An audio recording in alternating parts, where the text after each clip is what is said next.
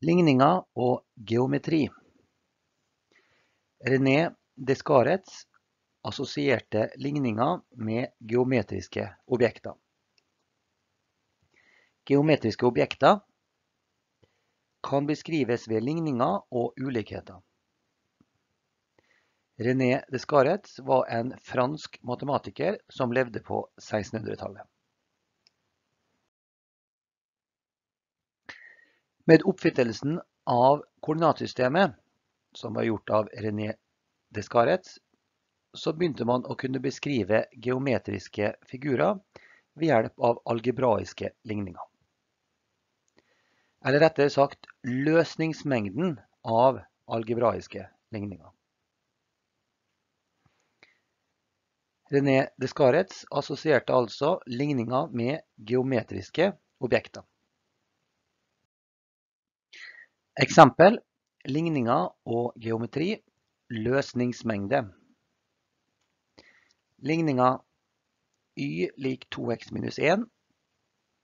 Hvilke punkter x, y løser ligninga 239, altså hvilke punkter av x og y løser denne ligninga.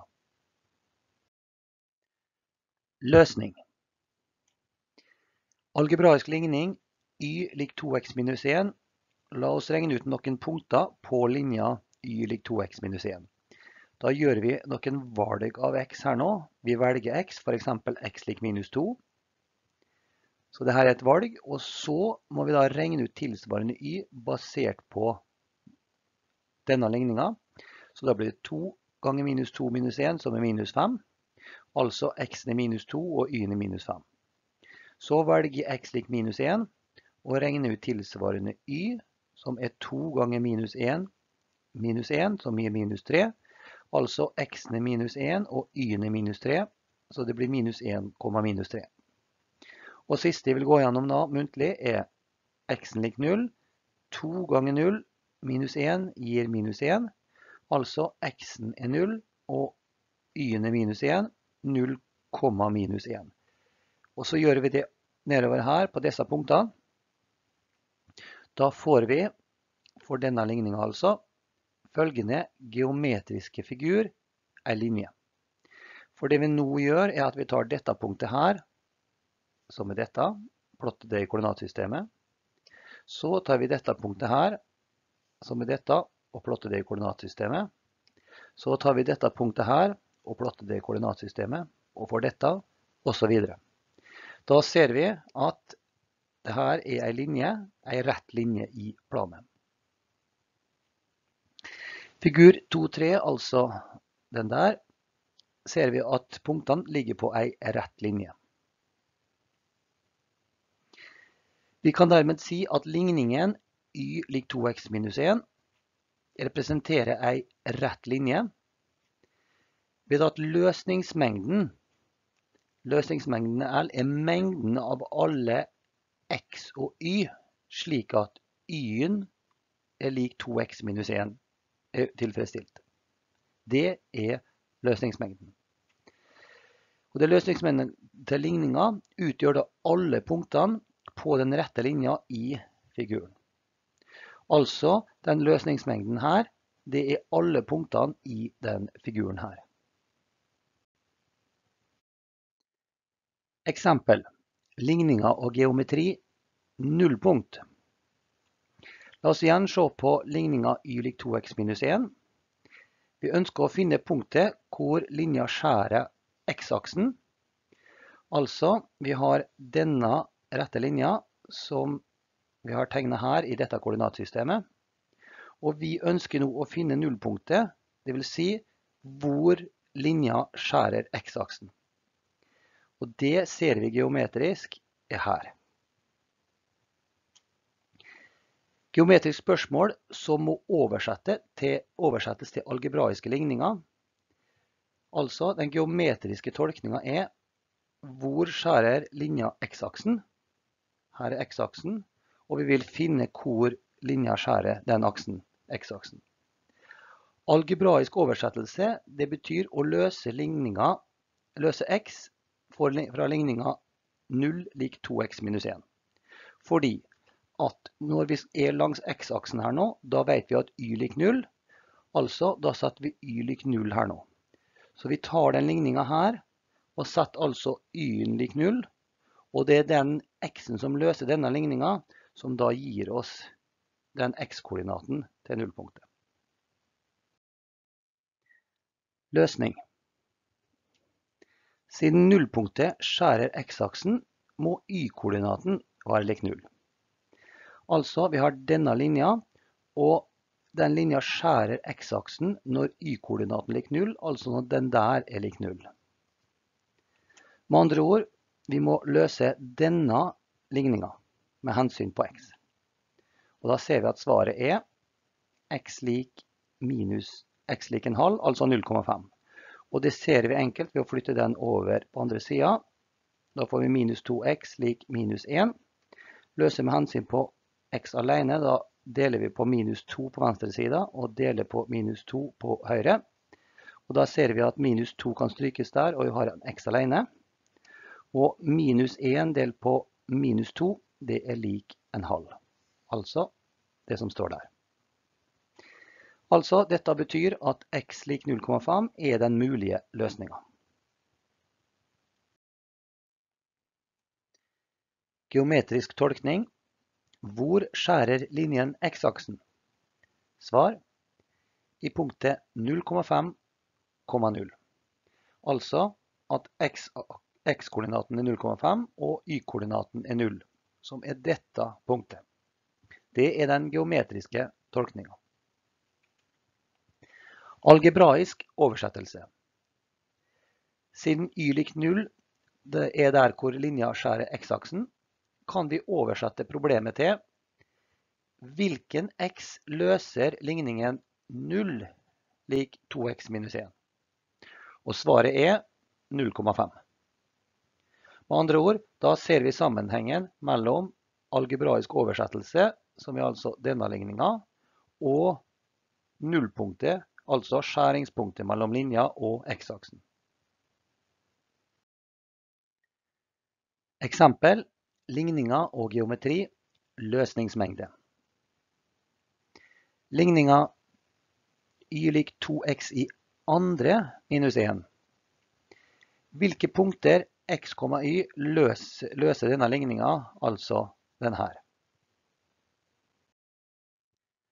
Løsning. La oss se på den algebraiske ligninga y lik 2x i andre minus 1. Altså vi har nå x i andre her. Så gjør vi sånn som tidligere. Vi regner ut noen utvalgte punkter. Og denne gangen på linja y lik x i andre minus 1. Da ser vi at her har vi x, og da gjør vi noen valg. Vi velger noen x-verdier, f.eks.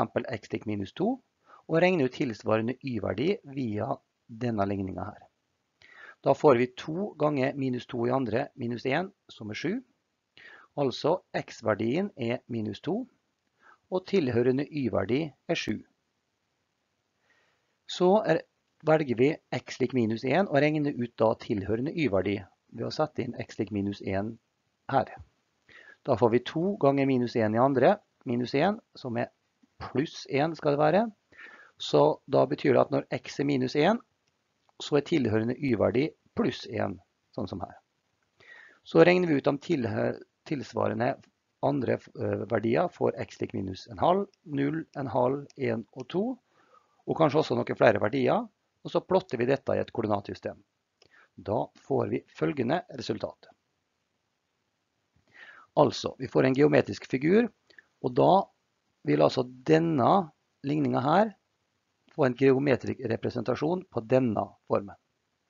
Og det her er en figur som kalles en parabel. Og da ser vi at det punktet der, minus 2,7, det er jo dette punktet. Og så ser vi også at minus 1,1, det er jo dette punktet. Og så ser vi at minus en halv, minus en halv, det er dette punktet. Og så er minus, nei, 0 og minus 1 er dette punktet, og så videre. Altså, den Ligninga her har følgende geometrisk representasjon.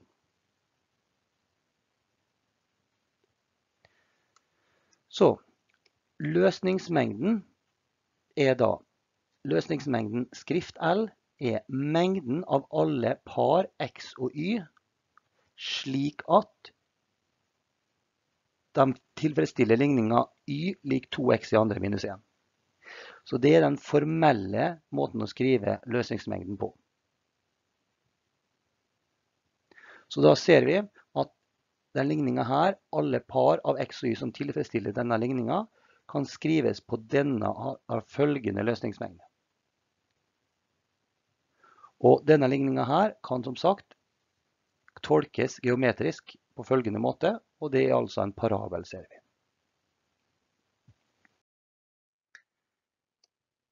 Nytt eksempel, ligninga av geometri, nullpunkt.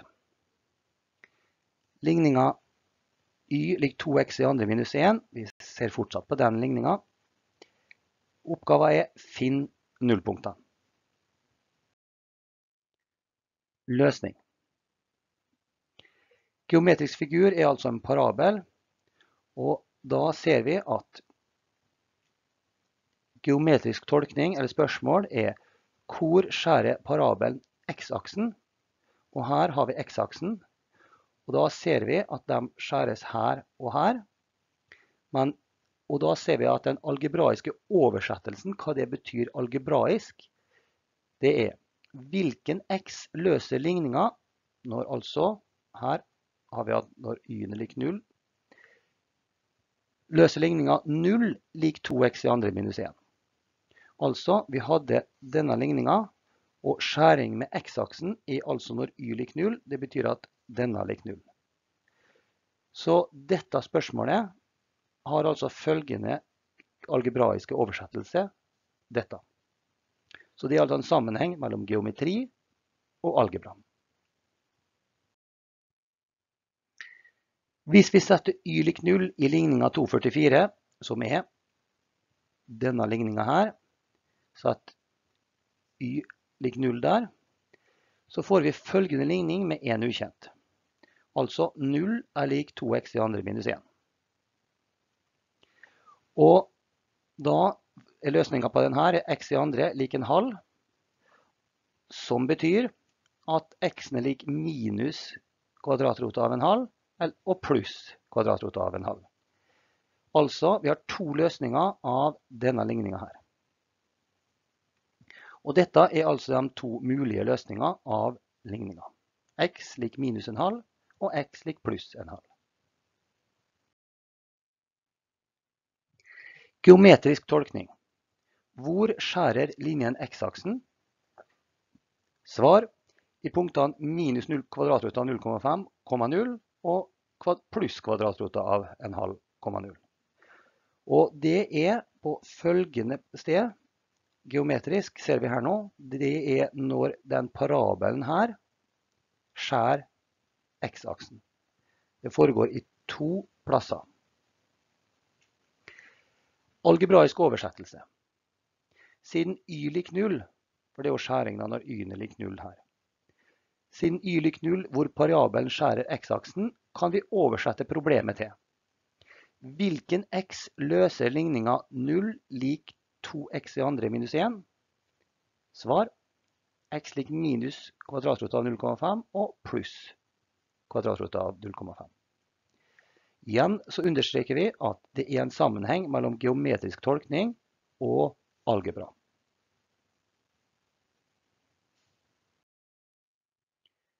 Eksempel. Ligninger og geometri, skjæringspunkter.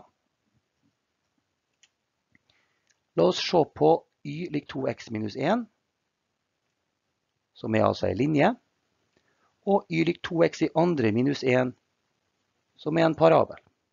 Legg merke til at det er en forskjell her, at det er x i andre der, og det er det ikke her, for her er det bare x selv. Altså x i første om du vil her oppe. Så det ene er en linje, det andre er en parabel. Hvor skjærer linjen og parabel?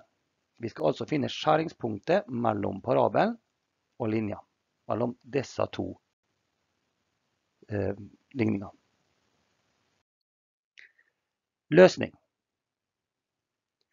Vi ser fra grafen, altså her, at linjen, som er altså den der, og parabelen, som er den der, skjærer hverandre i punktene. Dette punktet, som er her, 0, minus 1, og her 1,1. Det ser vi av grafen bare ved å se, bare ved stirremetoden. Men på samme måte som før, så skal vi nå på samme måte som før skal vi oversette et geometrisk spørsmål til det å løse en algebraisk ligning. Så vi skal oversette geometri til algebra atter en gang. Geometrisk tolkning. Hvor skjærer linjen parabelen?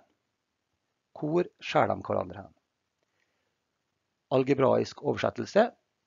For hvilke x og y løser, løser man ligningene y lik 2x minus 1 og y lik 2x i andre minus 1. Altså begge disse to må være oppfylt samtidig. Hvilken x og y er det som tilfredsstiller det? Begge disse to samtidig. Så da har vi oversatt fra geometri til algebraisk oversettelse. Begge ligningene må være oppfylt samtidig. Altså både den rette linja, y lik 2x minus 1, og parabelen 2 y lik 2x i andre minus 1 må være oppfylt samtidig. Både og. Dette utgjør et ligningssystem. Og vi løser det ved å sette altså den ene y-en her, den y-en der, lik den andre y-en, den der. Og når vi får det, så får vi 2x minus 1 lik 2x i andre minus 1. Og da ser vi at den minus 1 der og den minus 1 der strykes. Og vi kan sette den 2x-en der over på andre sida. Og da får vi 2x i andre minus 2x, som da er lik 0. Så kan vi faktorisere den der, fordi at x der og vi har x der som en felles faktor. Og faktisk 2x der og 2x der som felles faktor. Og da setter vi den utenfor. Og det betyr at, og ut ifra denne så ser vi at x lik 0 er en løsning, eller x lik 1 er en løsning. For vi ser at hvis den der x-en er lik 0, så får vi 0 lik 0, og det stemmer. Og vi også ser at hvis den der x-en er lik 1, så får vi 1 minus 1 som er 0, og 2x ganger 0 er også 0.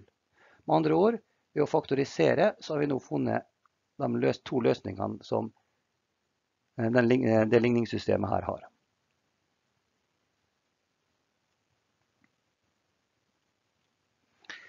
De tilsvarende mulige y-koordinatene er finnes av å sette inn for x.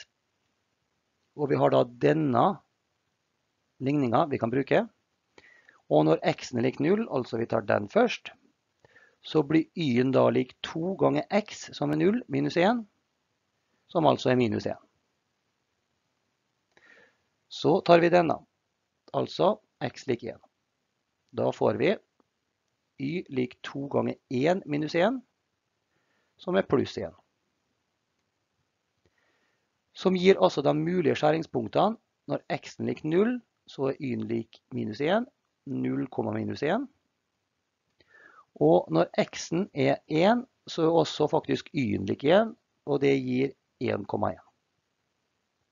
Det er skjæringspunktene. Geometrisk tolkning. Hvor skjærer linjen parabel? Svar i punktene 0, minus 1 og 1,1. Altså her og her. Det er skjæringa. Algebraisk oversettelse. For hvilke x og y løses ligningene disse to? Svar. Vi så da at når x er lik 0, så gir det y lik minus 1. Og når x-en er 1, så gir det også en y lik 1. Det var den algebraiske måten å finne det på.